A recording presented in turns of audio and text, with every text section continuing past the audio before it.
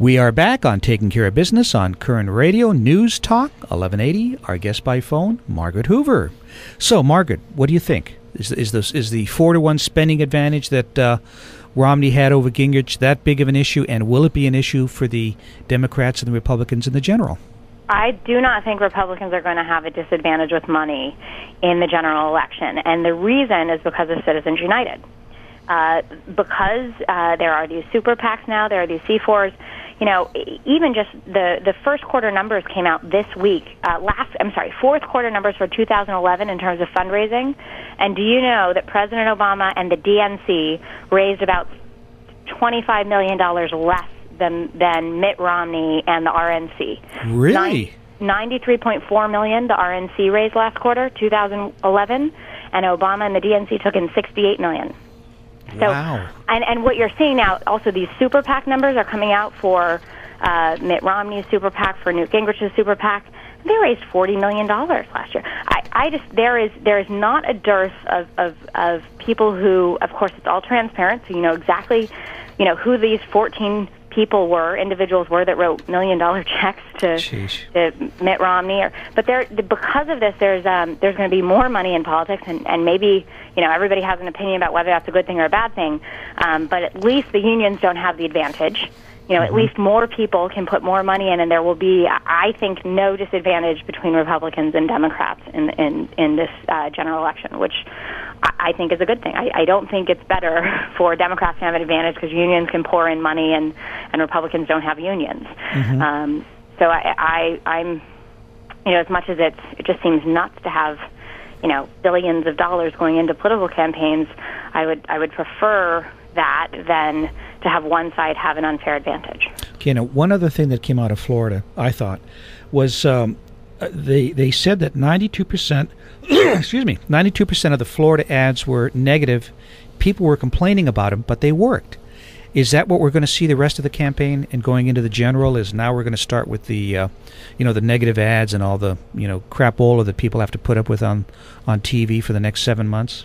That well, you know, I, I hope not. We all hope not. Nobody likes going negative, but the problem is, as soon as somebody goes negative on you, if you don't respond back, your numbers start going down. That's just the the dirty reality and the sort of the rotten truth of of politicking.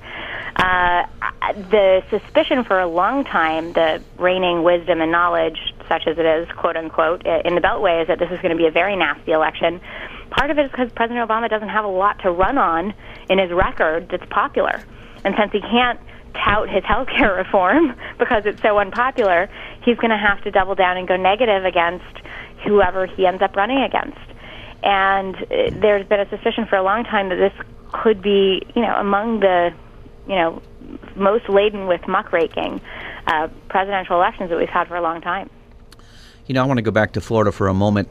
Um, it was a winner take all state, but now I understand Newt just filed a, a lawsuit saying that it sh- really should have been um, percentage based on votes. Grasping at straws is what I think.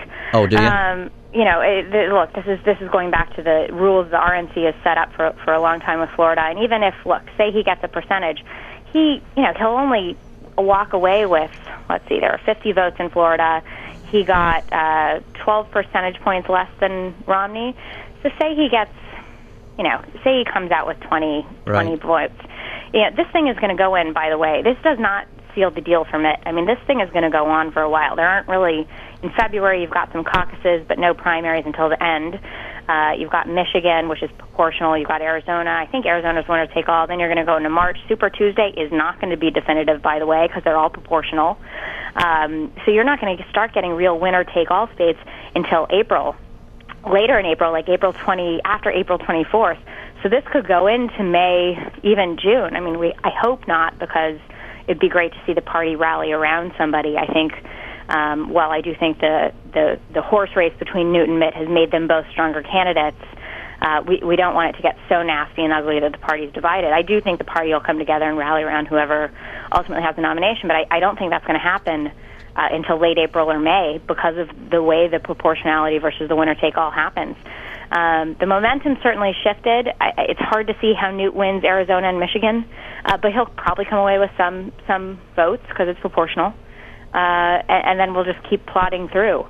Um, I, I just can't see how you know an extra 20 votes in Florida is going to make all the difference, especially when he's not on the ballot in Indiana, he's not on the ballot in Virginia. Um, so I, it Right. seems like grasping at straws. hmm at this stage of the game. Our guest by phone is the author of American Individualism, Margaret Hoover. So, Margaret, how does Santorum uh, influence all of this? Yeah, I if I were in Santorum's camp, I would say stay in, stay in, stay in, because there's a chance uh, that that the the conservative vote that has really rallied around Newt. Um, you you just never know what's going to happen with Newt, uh, and and Santorum does bring something to the table. Frankly, I think his presence in the debates has been really important. I think he's he's elevated the level of, of policy discussion in the debate, and frankly, I think him talking about uh, Rust Belt middle class Americans who have been caught in the crunch of globalization, have lost their jobs, and and they're hurting. I think that's that's important. That's really important for Republicans to be talking about.